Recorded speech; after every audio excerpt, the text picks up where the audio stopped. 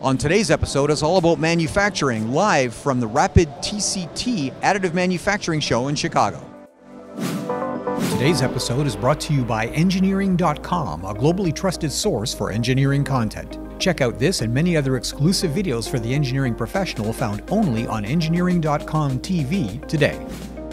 Bob, before COVID, um, five years ago, a decade ago, uh, the mass media painted an image of manufacturing in America as a dying industry. It's a dying sector, basically. Everything's going offshore. The Chinese are going to eat our lunch. You know, the, the stories are over and over again now. Now, now, COVID hit. And post COVID, we're looking at an exactly opposite world. I travel through Eastern Michigan. I see help wanted signs everywhere, bounties looking for workers. I see interest in, in manufacturing like I've never seen before. Are we looking now at the beginning of a new renaissance in manufacturing in America? Indeed, we are. Manufacturing is back. Manufacturing is back in the United States post COVID from reshoring activities, supply chain activities, but also development of next generation technologies, creating this pent up enthusiasm for manufacturing produced locally with high technology in clean, well lit, safe factories.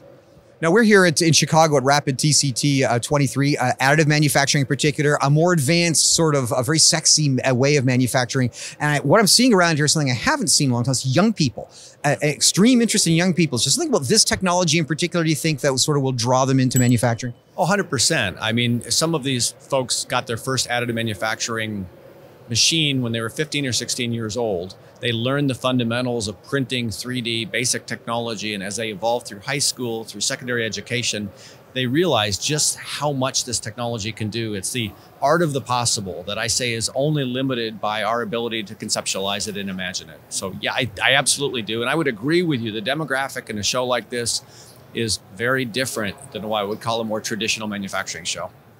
Uh, traditionally, the thought of manufacturing is dark, dirty, the classic sort of mill. In fact, be to even use film clips from the 60s or, or 50s to show show uh, manufacturing as it once was. Uh, I tour manufacturing plants now essentially, and they look like hospitals, bright, clean, airy. Is, is there an image issue here that, that we need to modernize or update the image of manufacturing in America? As an industry, we need to address that. And, and we are in any way that we can to create an image of manufacturing which is more aligned with what factories look like today. As you've said, they're clean, they're well lit, they're safe. I would argue some of our factories are cleaner than your family room.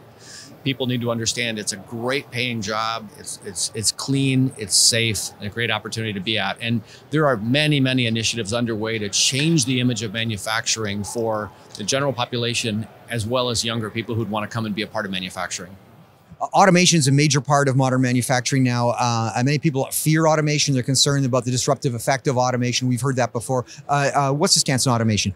Ironically, automation can actually help create more jobs because it, it takes the rudimentary part of the job out of the equation and it allows the more creative, technologically advanced, and frankly more interesting jobs to be open and available for workers themselves to do and participate in and be a part of, it actually increases the capacity of a factory and can, in fact, create more jobs and the value of those jobs. Um, uh, we're looking at entry level jobs, mid level, high salary jobs. What is sort of the profile of manufacturing jobs going forward, do you think? All of the above. Many manufacturers today classify them as level one, two, three, or four based on the level of technical capability of the worker and also the level of cap- capable needs of the job.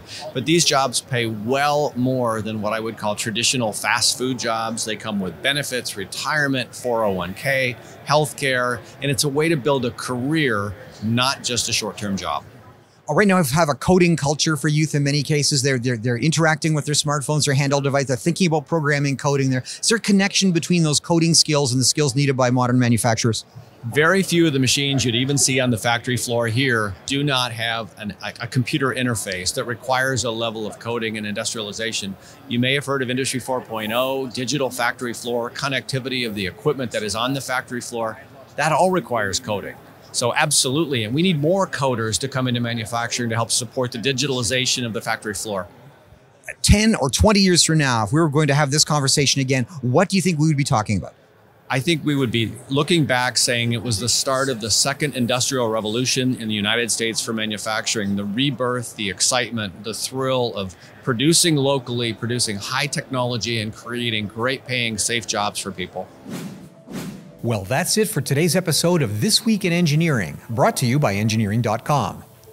For our Deeper Engineering series, visit engineering.com TV for exclusive shows like Manufacturing the Future, Designing the Future, and the Engineering Roundtable, not found on our YouTube channel. The links are in the description below. Thanks for watching.